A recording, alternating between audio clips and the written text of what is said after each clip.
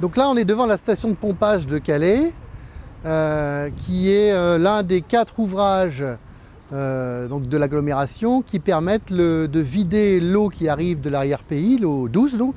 Le canal de la Citadelle recueille, à partir du canal de Saint-Omer, toutes les eaux douces, enfin une bonne partie des eaux douces qui descendent dans le Calaisie. Et cette eau, elle doit être évacuée à la mer.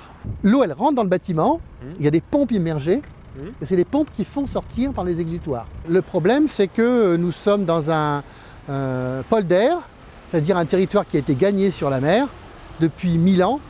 Euh, et donc, euh, lorsque les marées sont hautes, ce polder, il est sous le niveau de, la mer. Donc, s'il n'y avait pas cet ouvrage, ainsi que les trois autres, ainsi que le cordon dunaire qui protège de la, montée des eaux, de la montée de la mer, eh bien, on serait inondé à certains, régulièrement, à certains moments, euh, lorsque les marées sont hautes.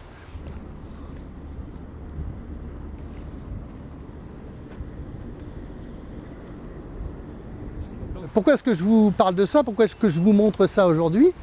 Euh, Eh bien, c'est justement pour montrer que euh, le Calaisie est un des territoires euh, les plus menacés par le changement climatique Euh, et qu'on n'en parle pas beaucoup localement. Pour être intéressant, c'est effectivement là, on est aux marées les plus hautes, c'est d'avoir une idée à peu près en centimètres de la hauteur qui reste avant la submersion. Tiens, qu'est-ce qu'ils font là? Tiens, c'est haut, hein Ah, C'est vraiment haut, hein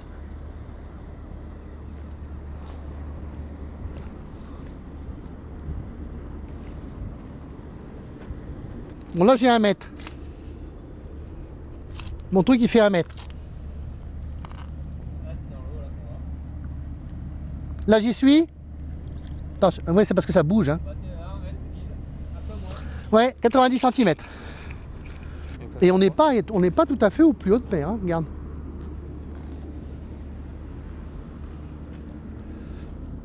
Je pense que le système actuel de fonctionnement des wateringues euh, fonctionne, hein, il fonctionne, mais avec euh, quand même des bémols pour le futur, c'est-à-dire qu'il va falloir les pompes avec la hausse du niveau de la mer qui est en cours déjà. hein. Euh, les pompes vont servir de plus en plus souvent.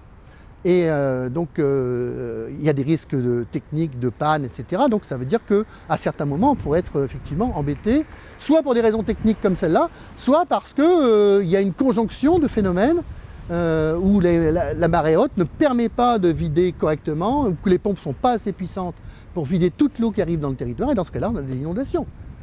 Des, inondations qui s'aggravent d'autant plus qu'on continue toujours à bétonner. Hein, alors qu'il faudrait euh, justement euh, remettre euh, beaucoup plus en eau les, les, watergans ou, les, petits fossés plutôt que de les buser. Alors qu'il faudrait aussi remettre en terres agricoles ou en replanter beaucoup, planter beaucoup de végétation et d'arbres au lieu de bah, la détruire comme on voit des fois. Donc voilà, toutes ces questions-là sont, posées et, donc engager un développement économique qui tienne compte évidemment de la présence humaine et de la nécessité de se développer, mais euh, en réutilisant le plus possible euh, des terrains, des friches dont on dispose déjà, plutôt que de toujours construire, bétonner, bétonner, bétonner. Et donc le plan climat, lui, euh, forcément, et c'est ce que je disais tout à l'heure, c'est vraiment le- le- l'enjeu majeur, c'est de faire pa- partager, faire connaître et partager tous les enjeux du territoire, hein, euh, sans avoir peur de quoi que ce soit. Je veux dire, on, est capable de, travailler, de produire un développement qui soit, qui tienne compte de la réalité, et, donc il y a un, partage, euh, euh, je veux dire, des, informations, une implication de la population dans, ces questions-là, et de ne pas faire, non pas faire comme on, malheureusement ça se passe aujourd'hui, c'est-à-dire que Bon, on n'en parle pas, hein, comme si le changement climatique n'allait pas se produire à Calais. Euh, ou alors on est dans le déni, peut-être encore, hein, il y a aussi beaucoup de cette question-là.